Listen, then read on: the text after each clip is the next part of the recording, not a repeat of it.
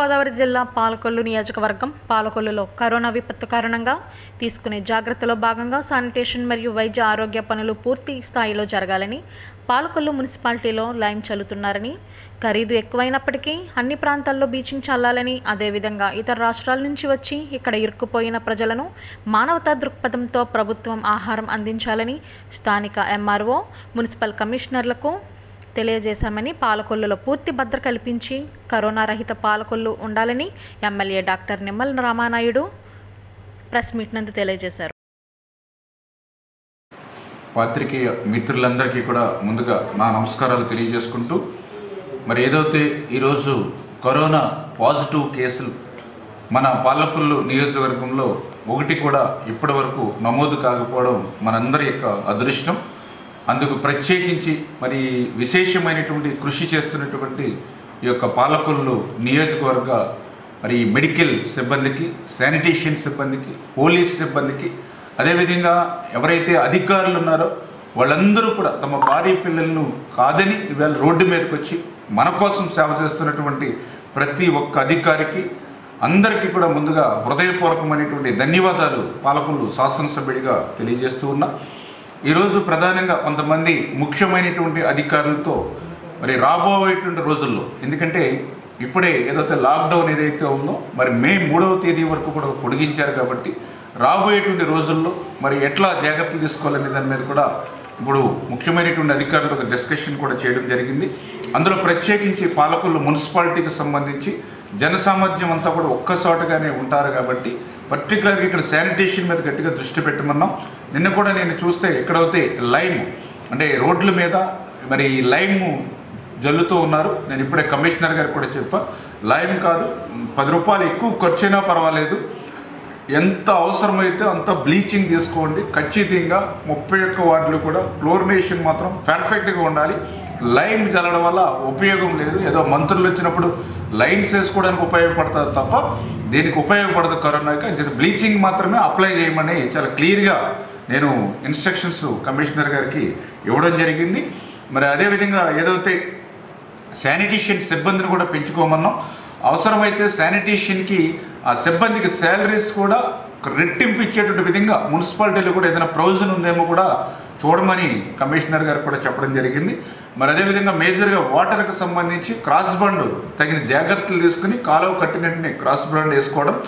అదేవిధంగా water tankers కూడా ఎక్కడ కూడా మాకు డ్రింకింగ్ వాటర్ సమస్య ఉంది అనేటువంటి విధానం లేకుండా అన్ని చోట్లకి కూడా వాటర్ రిలేటెడ్ విధంగా ట్యాంకర్స్ని కూడా ఎక్సెస్ పెట్టుకోమని చెప్పడం కూడా జరిగింది.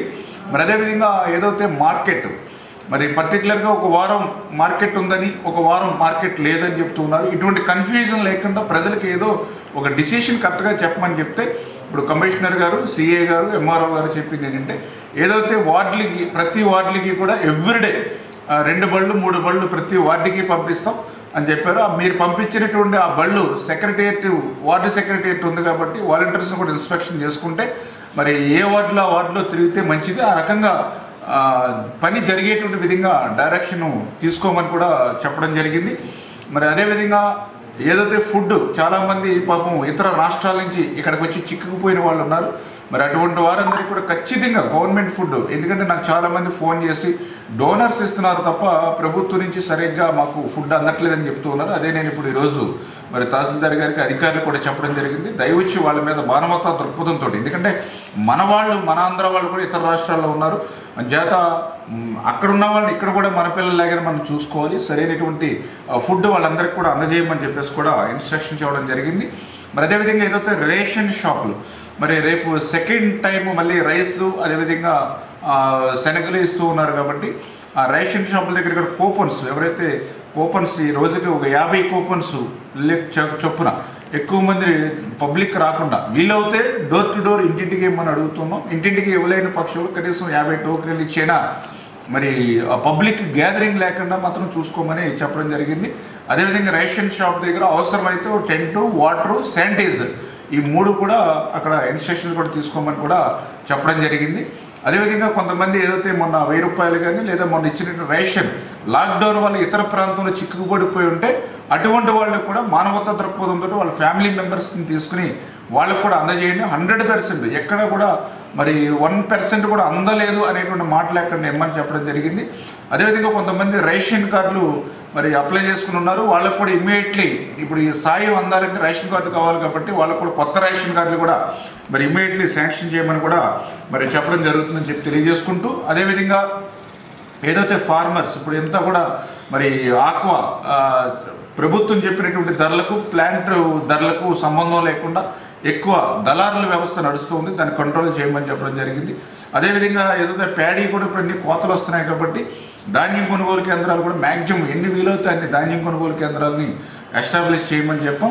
అదేవిధంగా లేబర్ని కూడా ఎక్కడ ఇబ్బంది లేకుండా ఇటు పోలీస్ డిపార్ట్మెంట్ కానీ ఇటు రెవెన్యూ కానీ ఎంపీడోస్ వీళ్ళందరూ కూడా కోఆర్డినేట్ చేసుకుని అగ్రికల్చర్ సంబంధించి అటు ఆక్వా అవనివ్వండి ఇటు అగ్రికల్చర్ అవనివ్వండి ఫిష్ అవనివ్వండి లేబర్కి ఎటువంటి ఇబ్బంది లేకుండా తగిన జాగ్రత్తలు మాస్కులు శానిటైజర్లు గ్లౌజులు అన్నిటితోటి కూడా సోషల్ డిస్టెన్స్ పాటించేటువంటి విధంగా మరి లేబర్ని ఎక్కడ కూడా ప్రాబ్లం లేకుండా చేయమని కూడా ఇప్పుడు డైరెక్షన్ ఇచ్చాం.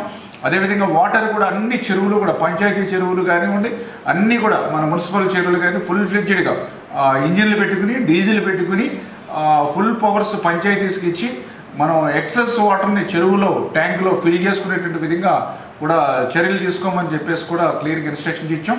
అదేవిధంగా గవర్నమెంట్ హాస్పిటల్లో కూడా కొంచెం ఇంకా ఫెసిలిటీస్ పెంచండి. అందులో పర్టికులర్గా ఇప్పుడు ఎవరైతే ప్రెగ్నెంట్ లేడీస్ ఎక్కువ మంది వస్తున్నారు కాబట్టి వాళ్ళ డెలివరీ కేసులు అది కూడా ఇమ్మీడియట్లీ టేకప్ చేసేటువంటి విధంగా గైనికాలజిస్టులని కొంచెం పర్ఫెక్ట్గా ఉంచుకోమని వాళ్ళకు కూడా డైరెక్షన్ కూడా ఇవ్వడం జరుగుతుందని చెప్పి తెలియజేసుకుంటూ ఈ రకంగా కొన్ని జాగ్రత్తలు మనం అందరం కూడా తీసుకుంటూ మరి పబ్లిక్ని మనం ఈ రకంగా కొద్దిగా కోఆర్డినేట్ చేసుకుంటూ వెళ్తే మరి భవిష్యత్తులో ఈ యొక్క కరోనా బారి నుంచి మనం పడేటువంటి అవకాశం ఉంది కాబట్టి ప్రజలందరూ కూడా ప్రభుత్వానికి అధికారులు కూడా సహకరించాలని చెప్పి కోరుతూ ఉన్నాం.